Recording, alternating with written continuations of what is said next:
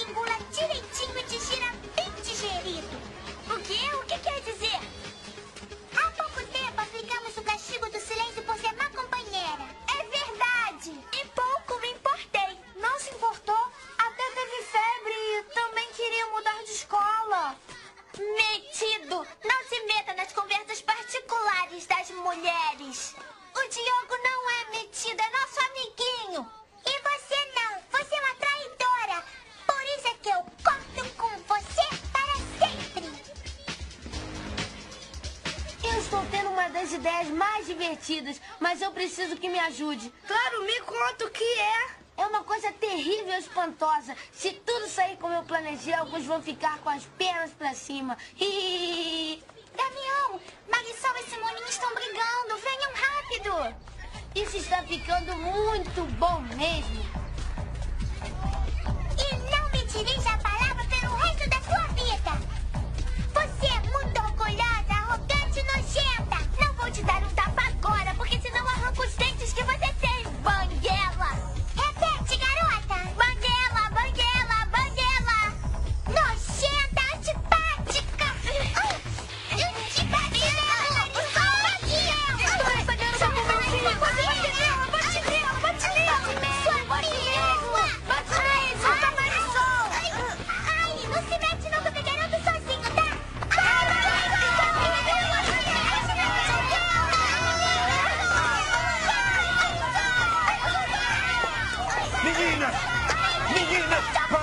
com isso! Meninas!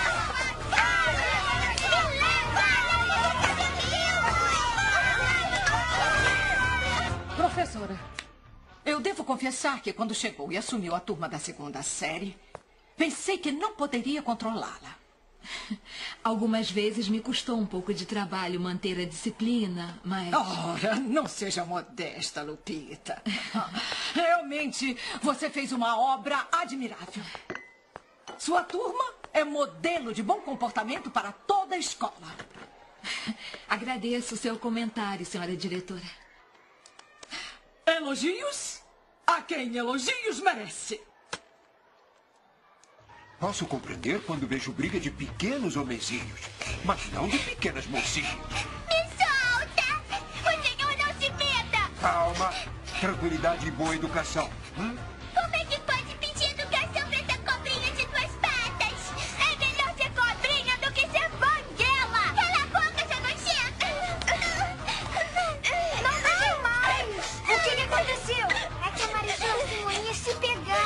Ai, ai, já chega. Isto aqui não é um espetáculo para uma escola.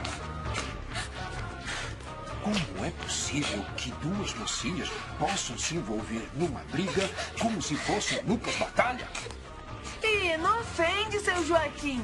Agradeçam a Deus que a professora Lupita não esteja sabendo desta briga. Mas se vocês voltarem a brigar, eu vou contar com todos os detalhes.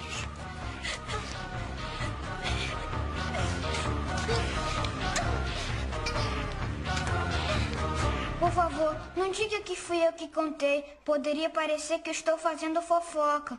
Isso não é uma fofoca, é uma informação. Me diga o que houve entre elas, Santiago. Disseram que nunca mais vão se falar. E é uma pena, professora, que comecemos de novo com essas coisas. É, é uma pena. Professora, por que não fala com elas e pede para ficarem de bem? Obrigada, Santiago. Eu tentarei. Nossa, loirinha deixou você toda descabelada.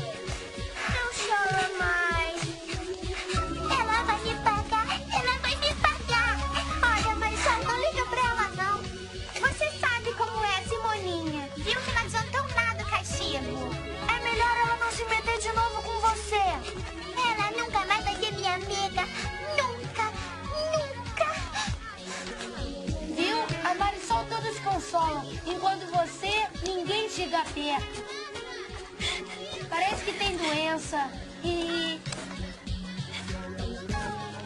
Simoninha, se quiser eu te consolo. Não se meta no que não é da sua conta. Eu não preciso de ninguém. E muito menos de você.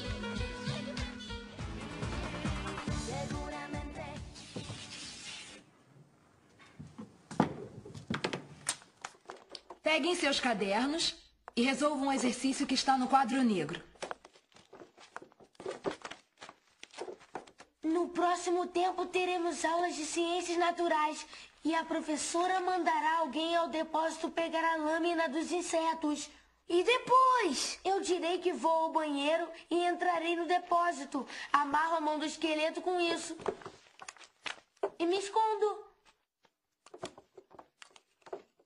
E depois? Depois, quando alguém entrar, puxa o fio e o esqueleto dança. E quem tiver entrado vai levar um susto daqueles. É mesmo? Claro! Então terão que tirá-lo da escola de maca, barriga para cima e com os pés para frente. Mas como você vai fazer para entrar se a chave está com seu Joaquim? Isso não importa, porque a janela pode ser aberta por fora. Então eu vou entrar por lá. E eu tenho tudo calculado, cronologicamente. Blu, blu, blu, blu, blu, blu, blu, blu, blu, blu. Escuto conversinhas. Silêncio. Marisol, Simoninha, aproximem-se. Venham comigo. Estarei lá fora um minuto. Façam o trabalho em absoluto silêncio.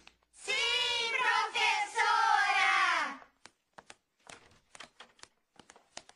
Diogo, Que é? o que vai acontecer com a Simoninha? Eu estou muito mais preocupado com a Marisol. Vocês sabem para que chamei? Um passarinho veio me contar que voltaram a brigar. É verdade isso? Não quero saber de quem foi a culpa ou quem causou. Disse que não quero explicações. O que eu quero é evitar que se repitam situações desagradáveis. Vocês são um pouquinho brigonas. É ela! É ela! São brigonas, mas inteligentes e de bons sentimentos. Apelo a esses sentimentos e a essa inteligência para que se reconciliem. Deem as mãos e vamos fazer as pazes. Vamos, deem as mãos. Estou esperando. Meninas, deem as mãos. Não! Não seja rebelde e aprenda com a sua coleguinha. Marisol quer se reconciliar com você. Professora, não me obrigue a fazer uma coisa que eu não preciso. Eu não obrigo.